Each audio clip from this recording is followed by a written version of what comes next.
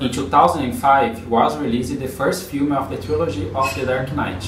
Under the direction of the Christopher Nolan and interpretation of Christian Bale, began what would later be the best film trilogy of heroes movies.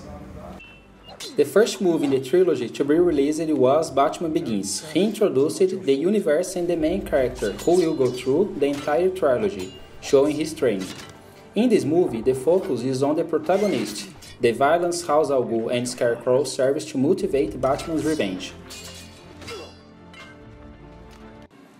In The Dark Knight, the things change a lot. The focus of the history turns to the main most striking Batman villain, the Joker.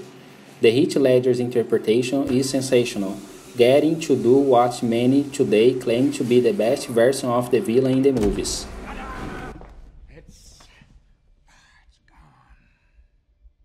The final of trilogy narrating The Dark Knight Rises can be aligned with the previous film. In this film, is shown the consequence of events occurred and Bruce Wayne is forced to return to his vigilant life in the face of a new threat caused by Bane, another villain already knows from the Batman universe.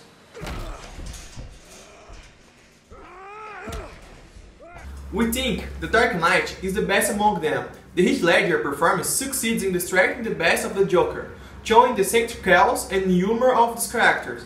All the moves are very good, but Dark Knight can be better at all points.